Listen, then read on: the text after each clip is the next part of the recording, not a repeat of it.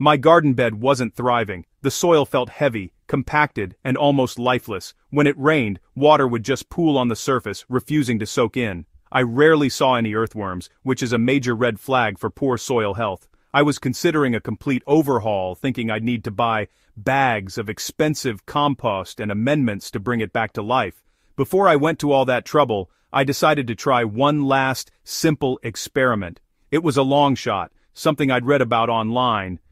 And honestly, I didn't expect it to do much at all. I applied a light dusting of a single, unexpected ingredient. The change was staggering. Just a few weeks later, the soil's surface came alive.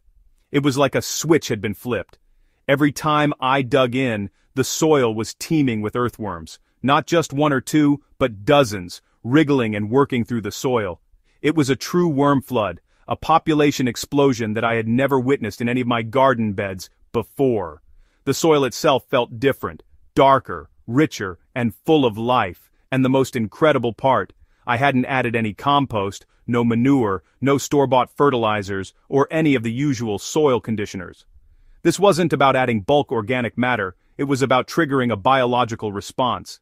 Seeing this transformation firsthand completely changed my perspective on soil regeneration. The results were so profound, they honestly blew my mind. Before this, my soil was struggling. Let me show you what I was dealing with. The soil was incredibly dense and compacted, when I'd water, it would just pool on the surface before running off, barely penetrating the top layer. Digging into it felt like chipping away at a brick.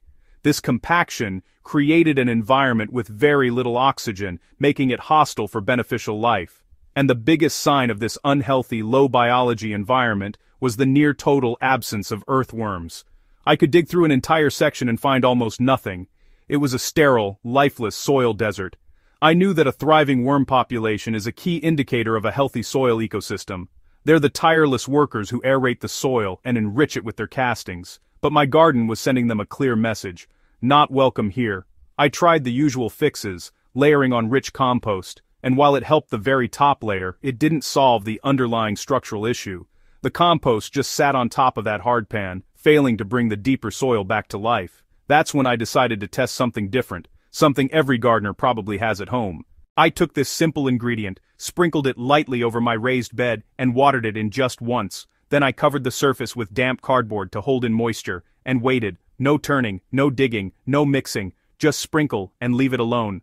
By the end of the first week the soil surface had changed, soft, dark and full of tiny tunnels. After two weeks I lifted the cardboard, and worms were everywhere, not a few, hundreds, they were feeding right where I sprinkled that mix. So what's happening here? This ingredient is rich in calcium and trace minerals that microbes love. When the microbes multiply, worms move in to feed on them. It's a simple food chain reaction. Healthy microbes mean healthy worms, and healthy worms mean living soil.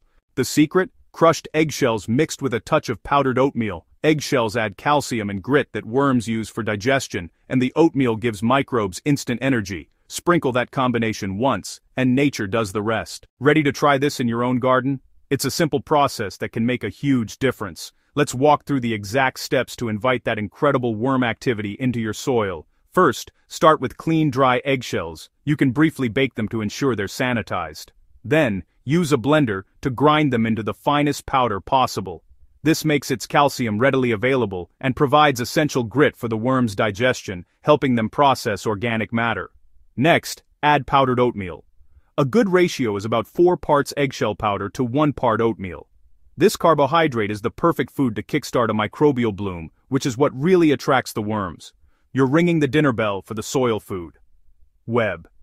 Gently sprinkle a light dusting over your soil, about 1 to 2 tablespoons per square foot is plenty. Then, water it in lightly. You want the soil surface to be damp, not soggy. This moisture activates the mix and helps it begin working into the top layer, Finally, cover the area with a piece of damp cardboard or a thick layer of mulch. This keeps the soil moist and dark, creating an ideal habitat. Now, you just have to wait. In about two weeks, lift that cover and prepare to be amazed by the life you find.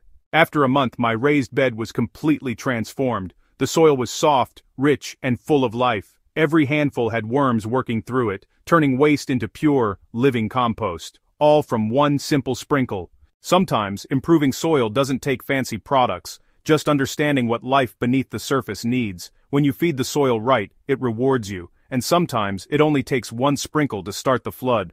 If you found this experiment helpful, subscribe to Soil Story for more simple, real-life soil discoveries. Share this with a gardener who's trying to bring life back to their soil, and let's keep growing naturally.